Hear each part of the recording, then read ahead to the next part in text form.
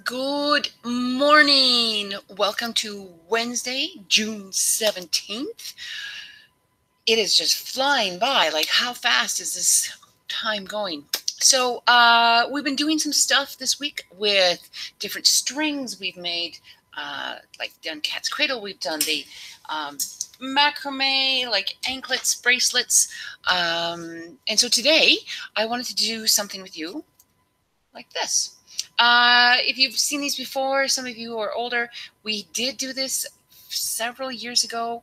Um, these are called God's Eyes.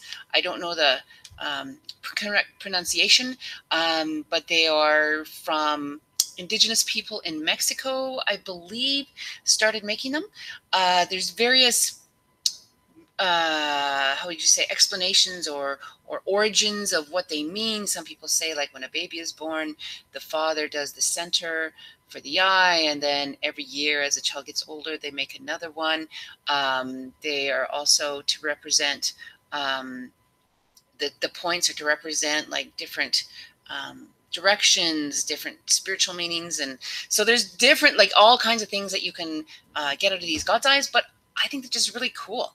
Uh, and I did mine in these colors. Now I'm going to explain why I did them in these colors because these, of course, National Indigenous Peoples Week is or Day is coming up on Sunday, and so I wanted to do a little bit uh, with that. Yes, this is uh, indigenous to Mexico, but um, it, it, I'm representing it our indigenous people with the colors. Now, the reason why I picked the white, yellow, red, blue is if I share this with you. Oh, no, don't do that. That's ending it. Stop. Uh, present. Let's go here. Let's go share. You are sharing, presenting your screen. All right. Um, so in where do I want to go? Where to go here? About medicine wheels. Oh, ah! I wanted to go about medicine wheels. Um, this came from Mrs. Miss Benning, and she talked about uh, medicine wheels and what they mean. Uh, this is her interpretation. The thing with medicine wheels, and they look something like. Oh, where's this one? I want to show you this. Yeah, this is what uh, the colors I picked from, right? The white and the yellow, the red and the blue. Um, is typically this is a medicine wheel that we have up, have up in our school, um, and it's to represent the um, it, on here it represents directions, but it also does so much more than that. If we go back here, oh, where do I want to go? Yes, I think I want to go here. Uh, I'm not really sure. Um, no, not there. so the the four colors or the four uh, parts of the medicine wheel are also representing like you as you're growing, right? Like so infant, uh, youth, elder, adult, elder, the seasons, right? So spring, summer, fall, winter, different animals. Like uh, if you've been watching my indigenous videos, uh, but the seven grandfather teachings, um, it represents that. Uh, there's different elements, right? Like water, fire, wind, and earth. So it's, it's like um, but whatever the medicine wheel means to certain people varies from person to person, to nation to nation, to culture to culture. So it's very varied, very varied. Is that a word? Is that a, is that a phrase? a lot of people interpret it differently. So I'm just telling you what Miss Benning shared with me and what I'm now sharing with you. So I, and you'll also see these um, medicine wheel, you will see them uh, with black. Black sometimes changes the place of blue, right? And it all depends on uh, different nations and different, uh, yeah, different places. So we do ours in blue. So that's what we're going to do today. So we're making something that looks like this, the God's Eye. So let's get back let's stop presenting. I'm gonna make these. Okay, so I use popsicle sticks. Of course, I wasn't organized to go to the my creek or my my trees and cut a couple branches. If I would have, I would have done that. I was not thinking what I was doing this morning. Surprise. Uh, so I just have popsicle sticks and I just glue them with a hot glue gun. If you happen to go into the um, into yeah, like, like getting a stick, uh, try and pick a tree, you know, that has lots of branches that are healthy on it so it won't be missed. Uh, clip the branches cleanly as you can. And it, I would suggest just saying a thank you to uh, Mother Earth for providing you with those sticks. Just a little uh, gratitude, a little bit of, you know, just to say thanks. So I don't have those, but I do have popsicle sticks. Now I'm going to show you how we're going to make these. You may have made these in the past, so you already know what to do. Um, but let me show you. So let's tip the camera down. Here we go. Woo! All right, there we go. I think that might stay. So I have my stick, and I'm going to start with, we're doing our God's Eye in white, because that's to represent the north. I like to start on the north. Um, because if I can face north, then I kind of know where I'm going. Maybe I should face north more often. so we're going to take our piece of string, and I just cut some yarn, and I'm just going to hold it on the back. I'm just going to wrap it a couple times in the center going one way, and then I'm just going to move it. I'm going to wrap it a couple times in the center going this way. You just want it to have the, the center covered up. Now, this is where, oh, started with white. Are you going to be able to see that? White on kind of light white. It doesn't matter how you do it, because there will be like a, there will be a front and a back. Um, and we, you could say, well, maybe I want this for the front and this for the back. So it's totally up to you which way. I wanted this part to go to the back. So all my ends that I tied kind of, I tried to stick onto the back. So doesn't really matter. But what you're going to do is you have to keep going the same way every time. So I'm going to go to my first, um, my first one, and I'm going to go around. So I wrapped it around, like going um, to the top of it. And then I'm going to give it a quarter twist. And I'm going to go around and give it a quarter twist. Go around, give it a quarter twist. Go around, give it a quarter twist. And I just keep doing that. And I just keep like one going around and then twist it. One going around, twist it. One going around and twist it. And then I'll show you what starts to look like on the other side. But let me just get these going. One, go around. One, go around, like, and then twist. Go around once, twist. Go around once, twist. Go around once, twist. And this is comfortable for me, but maybe you have a different way of doing it. And of course, I'm left-handed, so it'll be going the opposite way when you're doing it, right? So I'm just keep going, wrapping around until I've run out of string or out of yarn, right? Like that.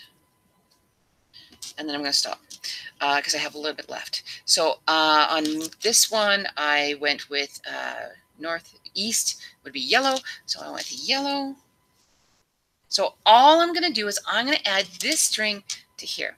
Now I could try and like cross them over and try and tie them together, which you can do, but let me show you a simple way. So I'm just going to put both colors together, right? I don't know if you can see that. Putting both those colors together. I'm just going to wrap it around my finger. And then I'm just going to tuck those two ends that I have, right? Pull my finger out and wrap those two ends that hole. That's just a simple way to make a knot out of two pieces that are dangling in the air. It just seems simpler to me. All right, so I'm going to keep going. So I wrap it around and twist, wrap around and twist, wrap around and twist. Now you're going to see that that knot, I want that knot to be on the back. I consider this the back. I think that's the front. So I want that knot to kind of be on the back. So I'm, I'm glad it stayed there. So wrapping around. And I just keep doing that over and over and over. And eventually, like these, this knot, it will, I can like trim it up once I'm done. But I just keep going. The same thing I was doing all the way along, right? Keep going. I'm just trying not to get those little end guys. I'm trying not to go over them because then I'm just going to trim them after, right? And then I'll show you what it starts to look like on the front once I get this other color. So I'm going to do my yellow. And I could even do like another yellow, but for me, I think that's enough. So I'm going to add my red. So again, I'm going to take my two ends, wrap it around my finger. Right? And then I'm just going to take those two little ends and tuck them back into that hole where my finger was. Except it didn't do it very well. It was kind of like not coming out very good. There we go right? And I'll trim those. I'll even do a little trim now because that's a really long one. And I'm just going to keep going. Woo! Oh, I got all that string. Right. Now, look at this one. So this one, I um, it's going to start kind of in the middle. And that's okay. As long as that knot is to the back, it's okay. So I'm just going to keep going. It's and I like I picked the colors for the medicine wheel. You can pick any colors you want. Like I just wanted to kind of tie it into Indigenous Peoples Day, so I went with medicine wheel colors. But you could go with any color you want. You could go. There's that kind of a yarn that's called variegated yarn, and it um, has all the colors on it. And so you just keep going, and it would just make your own color. So that would be cool too, right? Totally up to you. So I'm just going to add my last color, which is blue starting to come. Look at that. Look at how it's starting to look nice. And I'm going to add this one. So again, I'm going to tie them, wrap it around my finger. Although I got really big fingers, so sometimes it's kind of hard. I'm going to tuck it in. All those strings. Okay. Keep going. So I'm wrapping it around and going. Wrapping around and going. And yeah, I went like I'm going to make sure that that little knot, I'm going to make sure it's not pointed to the front, but I'm just going to make sure it's tucked into the back, right? So yeah, so um, more stuff with string. I didn't realize I was going to do so much with string today, but I did. um, and then my last video for you guys is going to be on Friday because you guys have to bring your chromes in and I got to get stuff done cleaning up the art room. You guys have been noticing how I haven't really been cleaning up. So I've got to get that cleaned up. So I've got two more videos to make. And then I will do a couple in the summer. And then I will see you guys next fall. I'm so excited to see you. Awesome. Okay, now I'm going to show you how I'm going to end. I think I'm actually going to end on this one. So to end, right? Like I've, I've got enough. That's as, that's as much as I want to do there's different ways to end it. Uh, the way I've been taught is um, I'm left-handed, so I'm going to leave a little bit of a loop on this left-hand side, and I'm going to come around and I'm going to just tuck that that uh, string into that loop. So it's just kind of like um, kind of make almost like a slip knot, or I don't know. I'm just trying to tuck it into. I think I'm going to go this way, right? Just to get it kind of tied on. I'm going to do one more.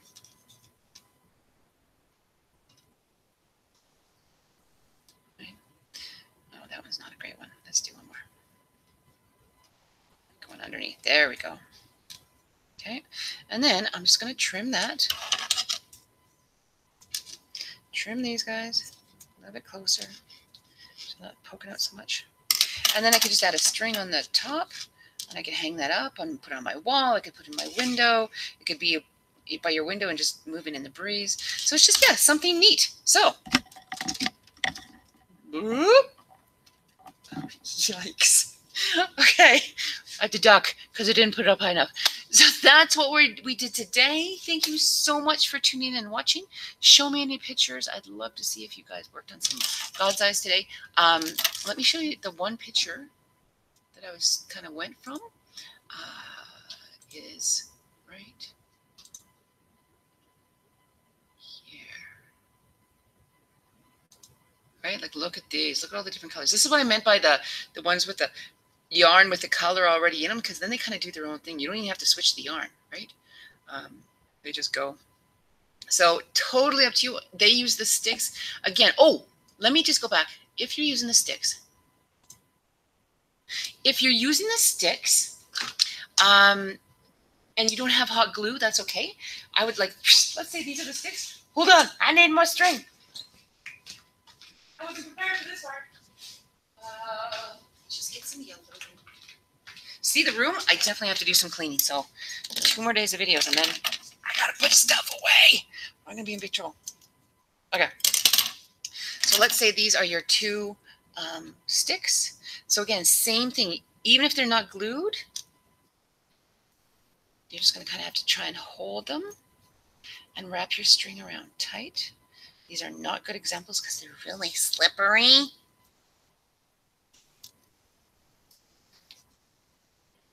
Right? Hold on. Let's move that up. If we went this way. Right? So even if you don't have glue, hot glue, you don't need it, right? If you go around your your sticks or you, you don't need to have it hug loose. It will work, right? You just got to be wrap it tight and go both ways. So make like make a cross. So go this way and go this way. Okay. Hope that makes sense. Uh, so grateful for you guys. Two more days. Uh, take care. Get some sun. Wear some sunscreen. Protective, personal protective equipment, whatever you need. And I'll see you guys tomorrow. Okay.